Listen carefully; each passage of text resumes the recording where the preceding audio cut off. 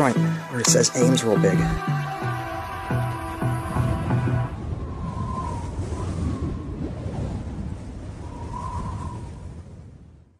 Hey everyone, welcome to Northeast Pennsylvania and welcome to the Lakeshore Museum here. Check these out. We got some old engines here. We have a lot of old cars around here. We even have a Dash 8 for NS I want to see. Now, time is limited because it's getting towards the end of the day and they'll be closing this place soon enough. And I want to enjoy my time getting to check this place out. Now, with that said though, we did have some time to go and get some photos on these trains, so I'll show you that at the end of the video. But we have a bunch of trains on their way, and I want to catch them and bring them to you. So let's go ahead and do that. And we'll take a look at these engines real quick as well.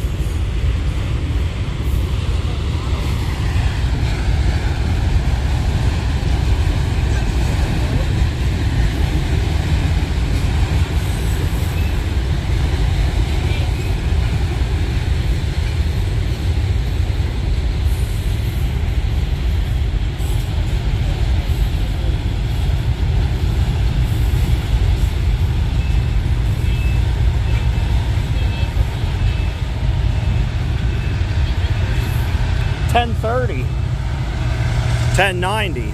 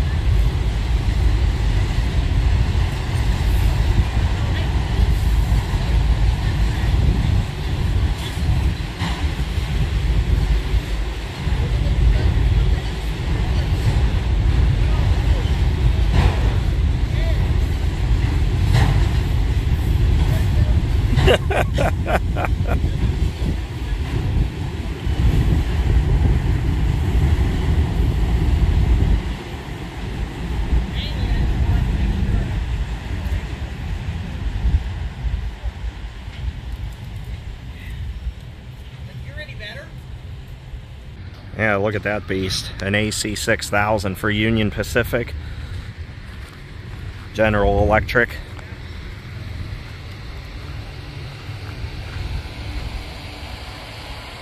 You know, at first glance, when I first looked at it, I thought it was possibly a uh, Tier 4, but I was inside of the cab.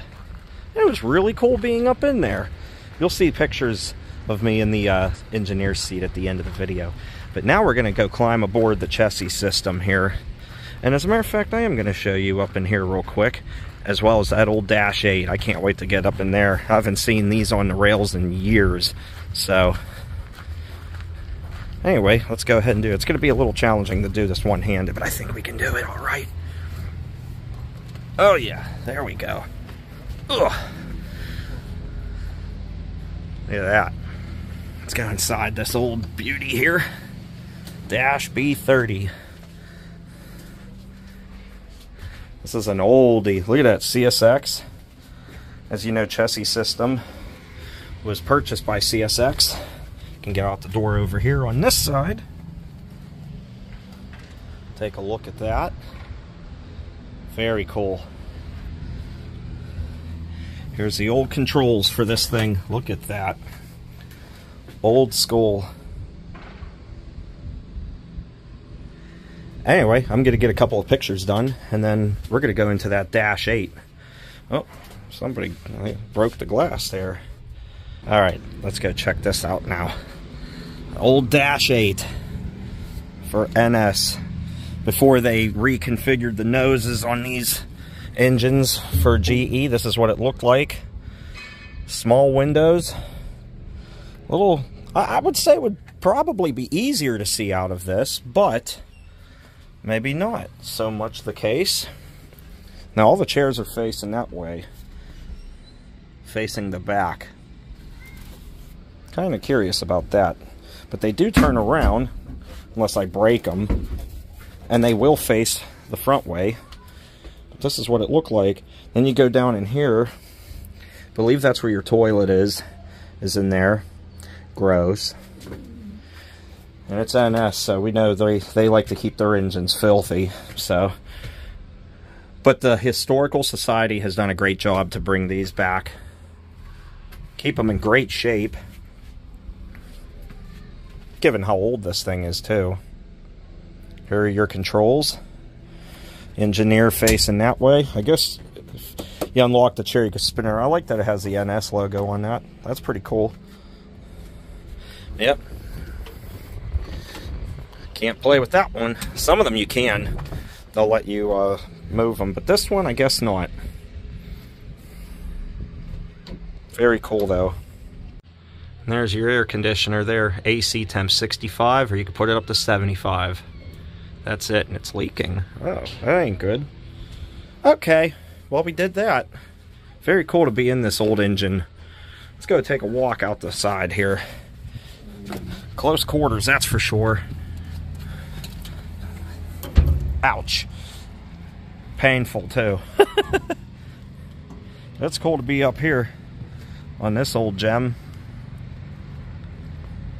And you're allowed to be up here. They they allow you to come up here when they're open. Obviously when they're closed for the day or for the week, don't.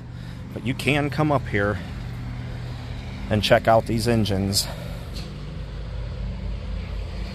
Very cool. Very cool to see the Chessie System, especially after just seeing the new Heritage unit for CSX. Speaking of CSX, here's a look at the uh, Norfolk Southern Dash 8, by the way. But speaking of CSX, they actually have one down here. Very cool. And they are doing work, so I'm trying to stay out of their way. But it's very nice of them to let us on here. And actually, the one gentleman working here at the museum follows my channel. How about that? He even asked me when I showed up, not filming anything abandoned today? I said, what? he said, not filming anything abandoned today? I said, no, I came out to catch some trains and was surprised, pleasantly surprised to see that you guys were open and wanted to check it out. And he said, well, welcome. And well, here we are. Look at this old gem. Wow, these windows are hurting on it.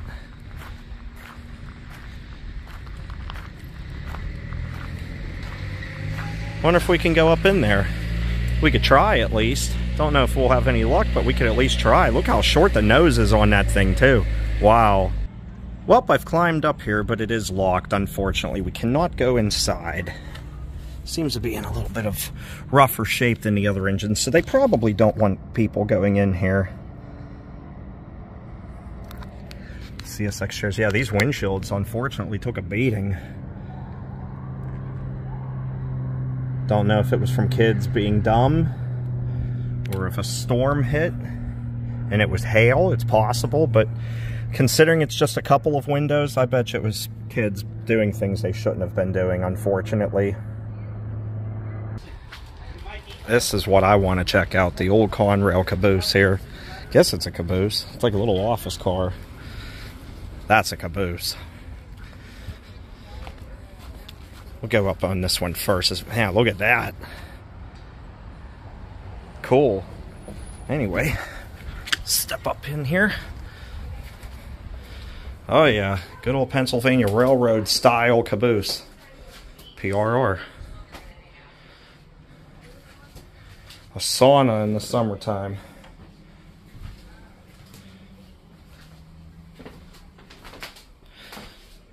really, really well intact too for the age. Now I know we've checked out the one at Gallitzin, which is built just about identical to this. Not quite, but very close. But this is cool. I want to go check out the Conrail one. Hey, look at that. A Fred. Now we have to climb down to get over. So we'll go down here. Go ahead and do that real quick. All right, let's go and rail it up. Grew up seeing Big Blue on the tracks. Yeah, look at this. There's another Fred, older one. Much different style caboose here. Penn Central. Yikes. And if you want to read that, just pause the video and you can do so. The stove, little sink, cool little caboose. I like it. Got a seat by that window. Check out that way. One by this one. Check out this way. Big platform out here too. Very cool.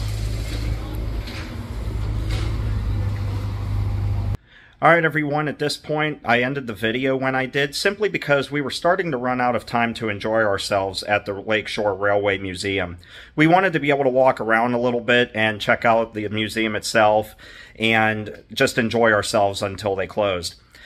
Now, when we were in there, admission was free but they do rely on donations and they use that to make improvements to the place and whatnot. And the suggested donation is $5 per person. And since Mary and I went, I obviously put a 10 in their box. So, anyway, if you ever happen to go up to Northeast PA, I know it's a weird name for a town because it's actually in northwestern Pennsylvania. It's in the northeast corner of Erie County, just about on the New York Pennsylvania border, right off of US Route 20 and minutes off of Interstate 90, right in the historic town of Northeast. Now, after I had wrapped up the video, I had realized that I was on their live stream that they have on YouTube. They have 24-7 live stream footage going west and east. They have two different cameras watching the tracks. So you can watch the trains from the comfort of your home right up there at the museum itself. And I happened to make the camera and I thought just for fun, I would put that footage here at the end of the video for you to enjoy. And then you'll be able to see the pictures of me and the engines and on the GE 6002. But anyway, hope you enjoyed the video. If you did, feel free to give the video a thumbs up. If you're not a subscriber, feel free to subscribe if you would like to. And I'll see you next time. Take care and stay awesome, everybody. Bye-bye.